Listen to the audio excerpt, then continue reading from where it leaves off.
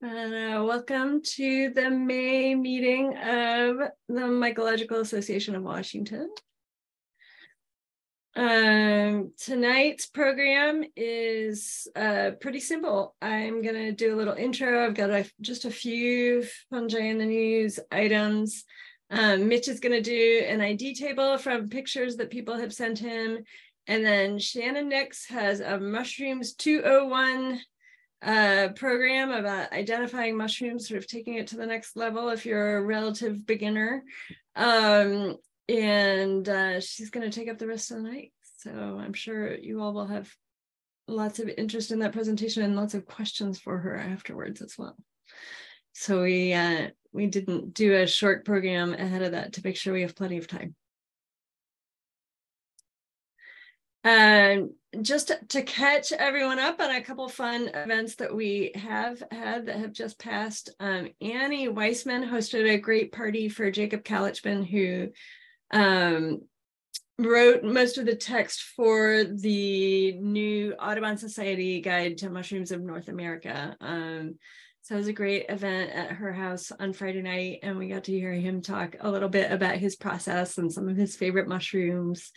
Um, so thanks to Annie for hosting and Saranella for sort of leading the discussion. It was it was a really nice event. Um, and this and the book is out now, so you can order it from Audubon directly, or I think other booksellers should have it.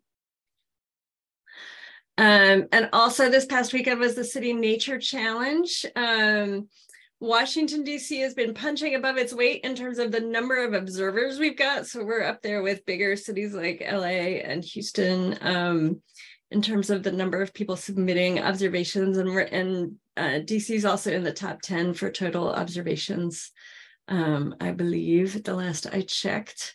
Um, so you can follow sort of the stats as things come in this week. Um, people, you have all week to get your pictures in if you took any over the weekend.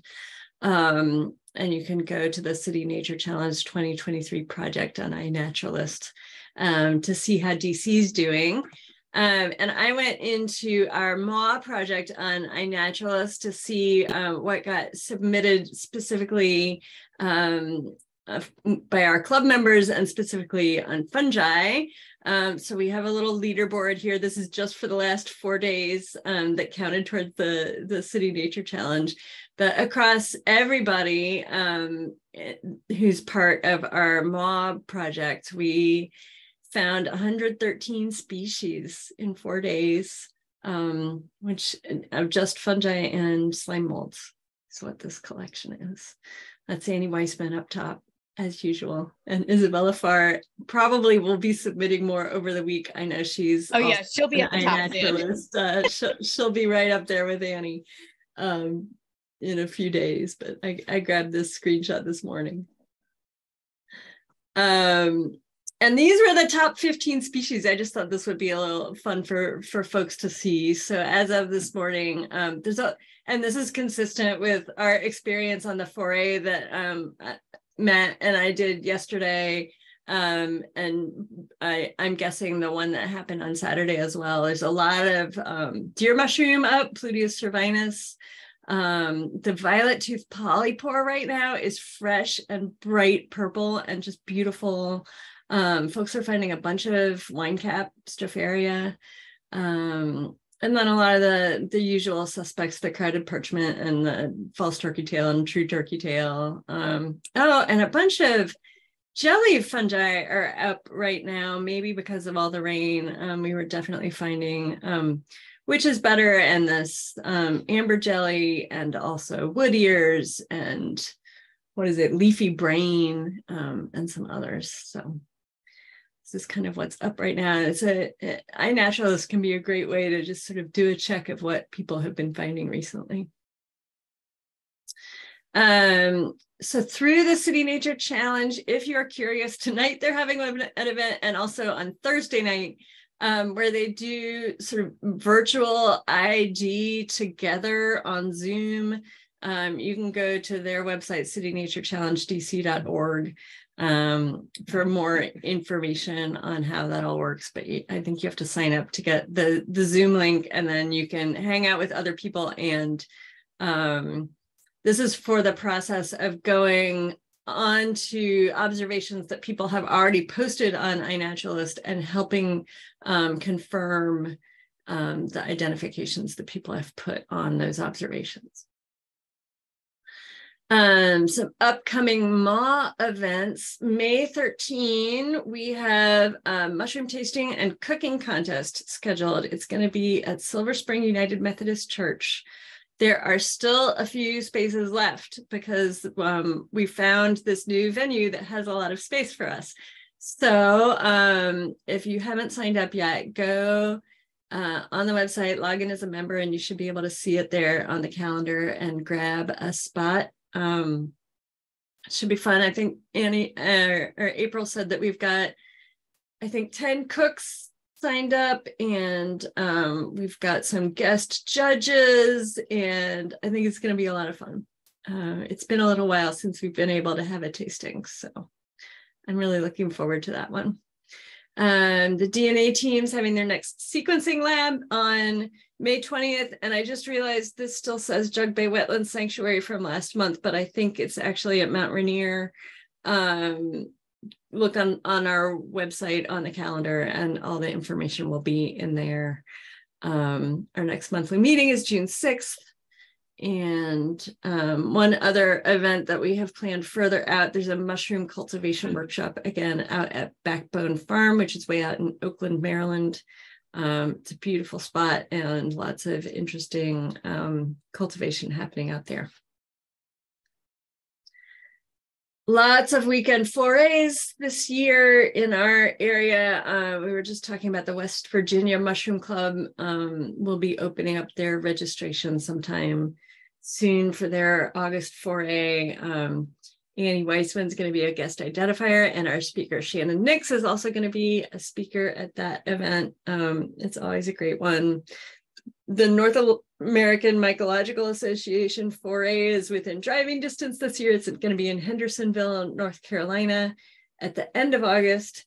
And then the next week, and uh, I should say for that one, um, Bruce Boyer, our NAMA um, was just telling me that uh, registration on that is open and filling up. So, and I know there are a bunch of people from the club um, driving down to that one. Um, so if you're curious, get on the NAMA website. You do have to be a NAMA member to go to the foray, but it's pretty inexpensive to join NAMA. Um, and I believe you get a discount for being a member of MAW. Um, I should clarify that. And um, so then our annual retreat for MA is up at the Sequanota Camp in Jennerstown, Pennsylvania, and that will be Labor Day weekend. So save that date. We have not opened registration yet for that one. Um, Matt's organizing. I think he's going to open it in July. Um, and then there are a couple other forays in September. Um, the Northeast Mycological Federation and Western Pennsylvania Mushroom Club um, both have great forays as well. Um, so many, many opportunities to dig deep if you are curious to spend a whole weekend looking at mushrooms. All right, in the news, um, the Washington Post ran an article a couple weeks ago about an article that um, was published in a scientific journal called Mycokeys. Um, I thought this is an interesting point that the authors are making. Um, basically, they're um, they looked at several databases of sequences that people have run on mushrooms uh, or fungi in general. And what they showed with this graph is that you know there's increasing numbers of sequences being done on um, mushroom species that have names and an even much faster increase in the number of mushroom sequences sequences being done on fungal species that do not have names yet. So undescribed species. And the argument of these folks um, is basically like we may need some other way to describe species that does not um, follow the current norms if we ever want to get names on this many, you know, tens of thousands of um, species that people are finding now when they're doing just sort of large scale surveys of what fungi are in the soil and things like that. Um, so I thought it was interesting that this this sort of argument made it into the Washington Post. Um, that uh, that there are just you know tens and tens of thousands of, of fungal species that have now been sequenced that do not have names. Uh, another article in the Post a couple weeks ago um, was about the boom in mushroom cultivation, sort of small scale cultivation, home based cultivation. Um, apparently, the agriculture department reported that specialty mushroom sales in general rose 32%. And then they um, they interviewed North Spore, which is uh, um, one of the companies that does the kits that you see for sale, um, you know, very polished boxed kits of mushrooms. Um, and they say their sales have been doubling every year for the last few years. Um, which is something that you know I know it's it's of interest to folks in the club, and, and I'm sure we'll get more cultivation workshops going uh, as well here for for more um, DIY cultivation as well.